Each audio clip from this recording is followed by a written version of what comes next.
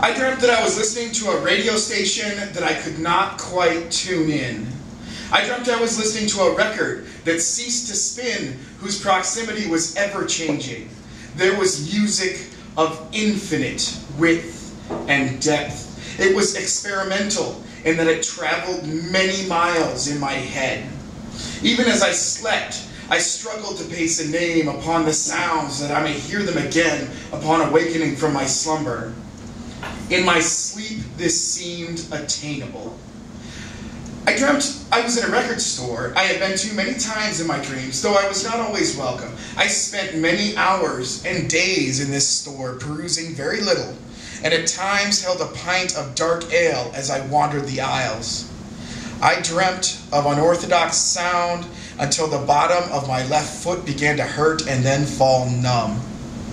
I awoke with my leg pressed against the frame of my bed and felt as if the sole of that leg had traveled a great distance that the rest of me had merely glimpsed.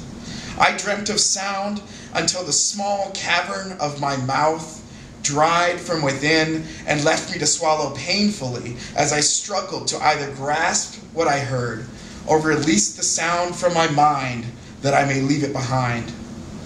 The impression left upon me is as footprints in sand, undeniable yet undoubtedly finite.